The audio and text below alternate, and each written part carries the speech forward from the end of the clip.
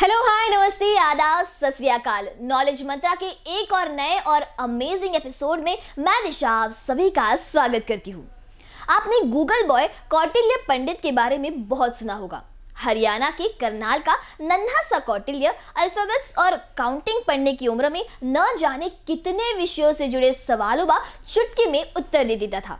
उसने अपने टैलेंट से दुनिया को दंग कर दिया था। लेकिन अब हम आपको बता रहे हैं एक ऐसी दादी के बारे में जो गूगल दादी के नाम से जानी जाती है। कौन है ये दादी और क्यों उन्हें गूगल दादी के नाम से बुलाया जाता है? आइए जानते हैं हमारे फैक्ट नंबर वन में। गूगल दादी का असली नाम सीतापति पटेल है और वह करीब पैंसठ साल की है। इस उम्र तक आते आते लोगों की याददाश्त कमज़ोर होने लगती है। लेकिन इसके उलट सीतापति पटेल का दिमाग उनका इतना साथ देता है कि उनका मुकाबला गाँव के नौजवान भी नहीं कर पाते। उनके अधिकारी से लेकर विधायक और थाने से लेकर सैकड़ों तरह के ज़रूरी हेल्पलाइन नंबर जुबानी याद है। सीतापति की प्रतिभा उन्हें देश भर में फ़ेमस कर चुकी है। इतना ही नहीं, खुद प्रधानमंत्री नरेंद्र मोदी तक गूगल दादी की सराहना कर चुके हैं। मिर्जापुर ज़िले में चुनार तहसील क्षेत्र के परशुरामपुर गाँव की रहने वाली गूगल दादी स्वभाव से हसमुख और ज़िंदा दिल है। वह समाज सेवा कर लोगों की मदद भी करती है। हालाँकि दादी पढ़ी लिखी नहीं है, लेकिन अच्छे अच्छे पढ़े लिखे लोगों को फेल कर देती है। वो एक ऐसी ह्यूमन डायरेक्टरी है जिन्हें अपने ज़िले के साथ आस पड़ोस के ज़िले के थानी, अधिकारी, नेता और कई हेल्पलाइन नंबर भी याद रहते हैं। गूगल दादी ने स्वच्छ भारत मिशन के प्रति जनता को जागरूक करने के लिए एक गीत भी लिखा है। इसके लिए पीएम मोदी ने भी उनकी तारीफ़ की। आमतौर पर ऐसा माना जाता है कि एक पेड़ पर एक ही तरह का फल लग सकता है, लेकिन ऐसा नहीं है। दुनिया में एक जगह ऐसी भी है जहाँ एक ही पेड़ पर 40 तरह के फल लगते हैं। अमेरिका में एक विजुअल आर्ट्स के प्रोफेसर ने ऐसा अद्भुत पौधा तैयार किया है, जिस पर 40 प्रकार के फल लगते हैं। यह अनोखा पौधा ट्री ऑफ़ फोर्टी के नाम से शहर में मशहूर है। इसमें बेर, सातुल, खुबानी, चेरी और नेक्टराइन जैसे कई फल लगते हैं।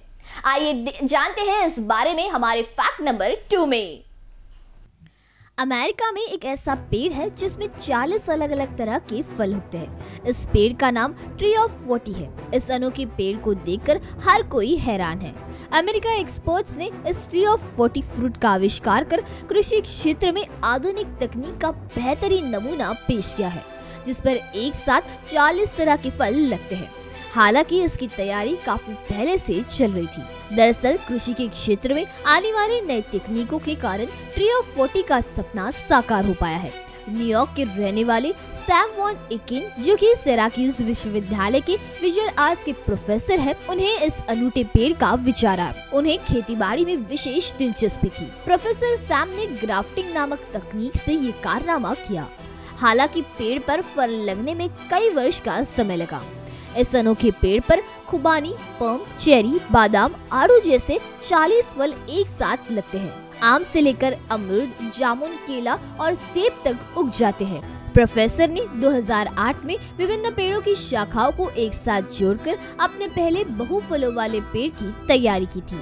ग्राफ्टिंग तकनीक में पहले तो पेड़ की एक टहनी को कली समेत अलग अलग किया जाता, फिर जाड़े के मौसम में इसे मुख्य पेड़ में छेद कर रोक दिया जाता है। इस पेड़ की कीमत भी किसी को हैरत में डाल सकती है। रिपोर्ट के मुताबिक इसकी कीमत 19 लाख रुपए के करीब है। प्रोफेसर वैन एकन ने देश के सात राज्यों में 16 पेड़ लगाए हैं।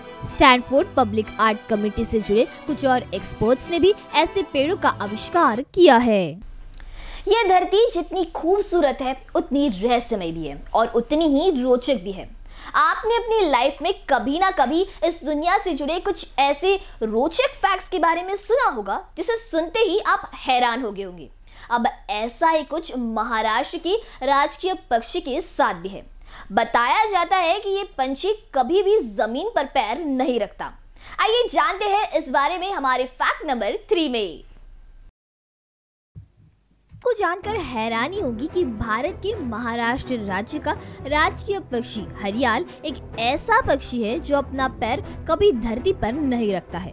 इन पक्षियों को ऊँचे ऊँचे पेड़ वाले जंगल पसंद है। ये अक्सर अपना घोंसला, पीपल और बरगद के पेड़ पर बनाते हैं। अधिकतर हरियल पक्षी झुंड में ही पाए जाते हैं। इस पक्षी के बारे में मान्यता है कि यह धरती पर कभी भी पैर नहीं रखता।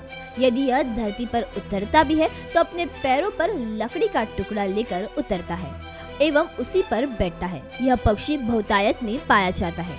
इस पक्षी का आकार उनतीस सेंटीमीटर से लेकर तैतीस सेंटीमीटर तक होता है तथा इसका वज़न मात्र 225 ग्राम से 260 ग्राम के बीच होता है। यह एक सामाजिक प्राणी है और झुंडों में ही पाए जाते हैं। इनके पंखों का फैलाव 17 से 19 सेंटीमीटर लंबा होता है। इनके शरीर का रंग हल्का पीला हरा होता है, जो कि ओलिव के फल से मिलता जुलता होता है। इनके सर के ऊपर हल्के नीले भूरे रंग के बाल होते हैं। इनकी आँखें काले रंग की होती है, जिसके आसपास लाल रंग की रिंग होती है। हरियल पक्षी के पैर चमकीले पीले रंग के होते हैं और हरियल पक्षी को ऊँचे ऊँचे पेड़ वाले जंगल पसंद है। ये सदाबहार जंगलों में पाए जाते हैं। ये अक्सर अपना घोसला, पीपल और बरगद के पेड़ पर बनाना पसंद करते हैं। भोजन की तलाश में यह उड़ते हुए शहरों के पार्क में भी अक्सर देखे जाते हैं। हरियल पक्षी दूसरे कबूतरों की तरह ही सामाजिक पक्षी होते हैं। यह भी कई पक्षियों के झुंड में रहते हैं। इनका सबसे छोटा ग्रुप, सबसे छोटा समूह पाँच से दस कबूतरों का होता है। नॉलेज मंत्रा के आज के हमारे इस एपिसोड में फ़िलहाल के लिए इतना ही। आपसे फिर मुलाकात होगी नॉलेज मंत्रा के अगले एपिसोड में। तब तक के लिए हँसते रहिए, मुस्कुराते रहिए और देखते रहिए बीसीएन न्यूज़ नमस्कार।